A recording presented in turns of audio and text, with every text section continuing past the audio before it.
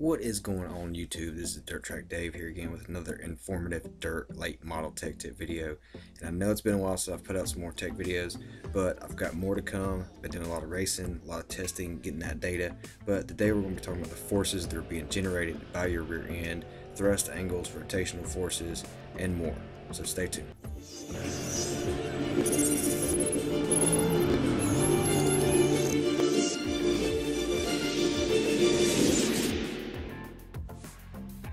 Can't say enough how much I appreciate the growing support of the channel, all the subscribers subscribing to the channel, the likes, the shares, my Facebook page. But I do this for the racer. It's real data, real info. And if you're new to the channel, you can hit that subscribe button in the bottom right hand corner of the screen. Hit the bell icon so you get all the notifications when I upload content. That way you'll be notified of any future content that I put up. So without further ado, let's get into the forces that are being generated by these dirt late model rear ends, their four bars, torque arm, and everything that goes into it. This will help you make better decisions on the track by understanding the forces that are being generated with these cars.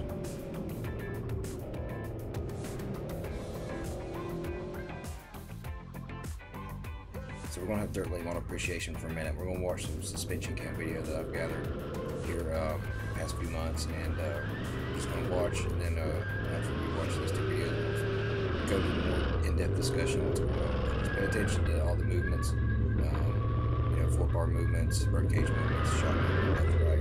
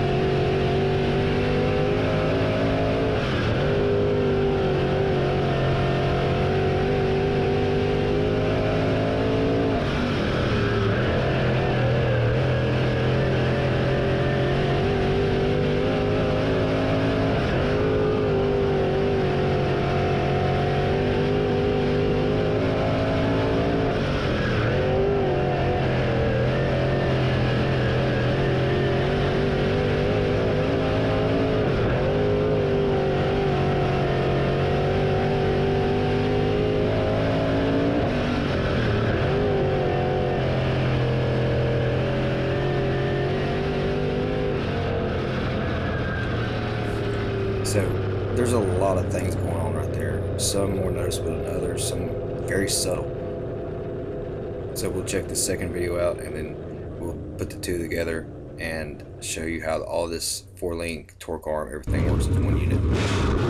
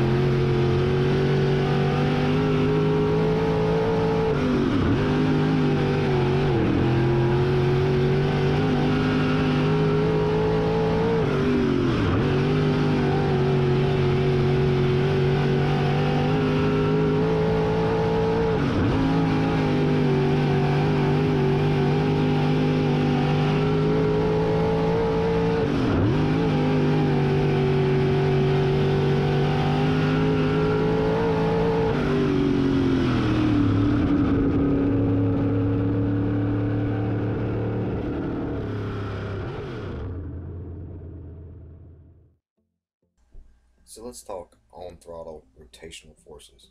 So when you're on the power, your tire is rotating from the outside would be clockwise. But from your inside view here, we're going looking at it counterclockwise. Your rear end is wrapping the opposite way because as torque is applied with these floating bird cages, the rear end tries to wrap the top of the rear and the tire is always rotating obviously in the forward direction. So when you have these forces being applied, they have an effect on your lift bar and how it goes up on the coil spring and also braking torque. We'll get into braking torque later. So this is your basic rotational torque. How it's being applied It's coming from the axle to your tire and making your rear end. Now, there's also a forward thrust being applied from the rear end as you're accelerating. So since it's on a fixed bar system, that forward force is transferred through the bars at a specific angle, average angle, so to speak. And those forces go into the chassis and make the chassis either push up, which pushes down on the rear end, or vice versa. So every action has a reaction. So when you increase angle, you increase the upward force. So always try to look for an average bar angle. I take the top bar, bottom bar, average them out, add them up, divide them by two. Simple math. So every angle change has an effect on the upward thrust and the forward thrust of the rear end. So the more upward angle that they may have in them, you know, the steeper the angle, the more upward thrust, the more downward thrust is applied to the axle and to that corner of the car. So the steeper the right bar angle, the more downward force is applied to the right rear, the more it drives over the left rear. And you want more right rear in traction and less right rear in the slick, obviously, because the left rear gives you dig.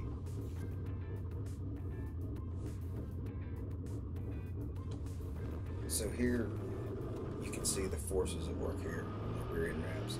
Like as he gasses it up, you can see that rear end wrapping and the fifth coil resisting, off throttle, dumping, sixth coil catching, and everything's working nice and uh, you know, flowing smoothly. The car roll steer is nice. Everything, you know, three inches of movement on the fifth coil.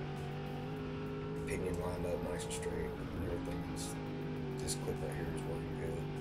Um, you know, just watching the forces work and, and understand how to utilize it. You, know, you see the bars on the left rear. You know, it's kind of hard to see, but you can see how steep they are.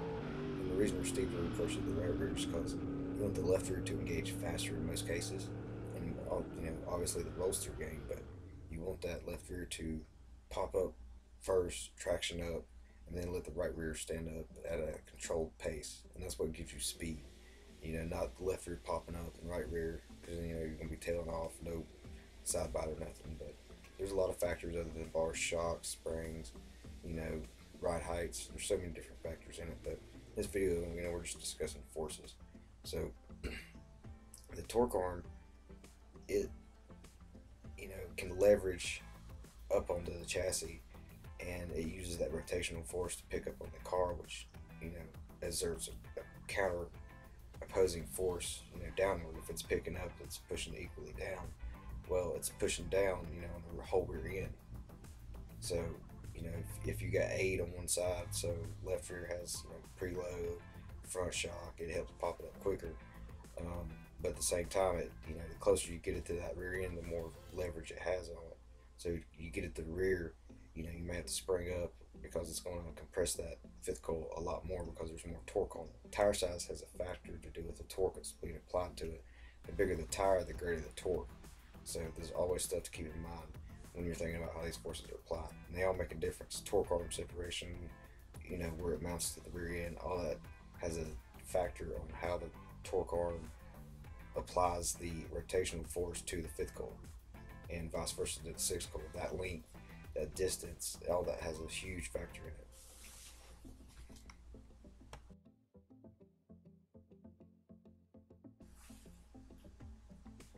So, I hope you can understand these forces a little bit better by this video.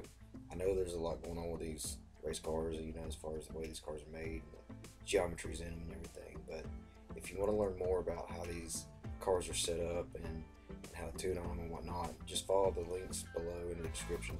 Um, I have guides that offer everything from you know setup to scaling to tire work. You know, you know good basic intro stuff, real usable data, no BS. Um, I don't put nothing out that has been tested, tested, confirmed, and proven.